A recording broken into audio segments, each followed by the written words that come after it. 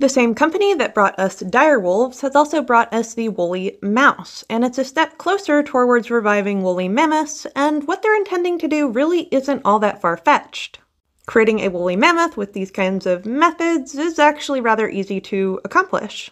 The woolly mouse was created by tweaking a few genes that have to do with coat.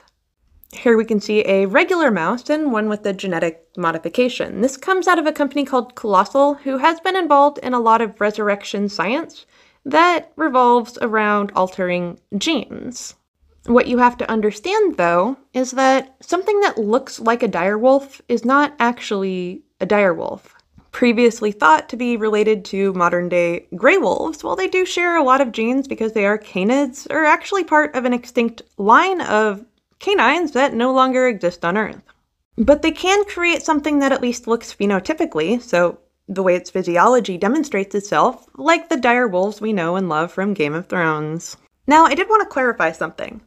When I say that these guys do not have a place to live, that they weren't designed to live on a zoo or even on 200 acres, you have to understand what I'm saying is that nature designed dire wolves. Through billions of years of evolution, little quirks in the environment shaped every creature to what they are today. Are we adapted for what we're living in? Not well.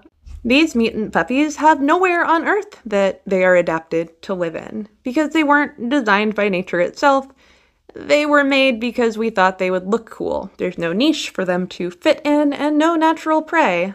Worse, if you know anything about Texas, where people have game reserves, there's some African animals that are extinct in the wild, but live in Texas, where they've established populations. Yes, animals always get out.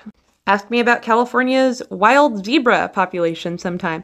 Yes, there is a population of feral zebras roaming California to this day. It's always a fear that genetically modified critters will find their way into nature and have unpredictable results. It's why in my work, when I have GMO bacteria, we do have very careful protocol. We can't just flush them down the drain. Now, our dire wolves are about as much a dire wolf as a Shiba Inu is a fox. Yes, we can make dogs that look very similar to a fox, but they will never be a fox. This is a little bit like imagining an alien race abducts a chimpanzee and wants to recreate humans. So they think, oh, well, it needs to be slimmer and hairless. There you go, a human.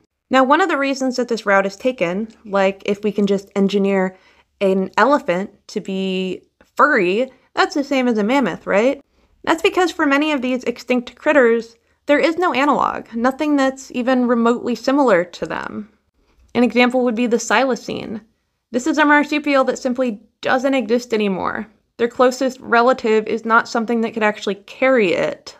This is why artificial wombs may be a great step farther for resurrection science. While we do have the entire genome of a woolly mammoth, we can't exactly pop it in an African elephant hope for the best.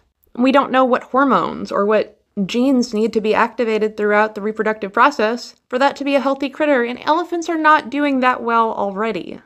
We have an environment that's doing desperately poorly already. We don't need to bring back these animals. And yes, while they are not selling pets yet, I'm sure if there's enough of a demand, you can get your own dire wolf or woolly mouse.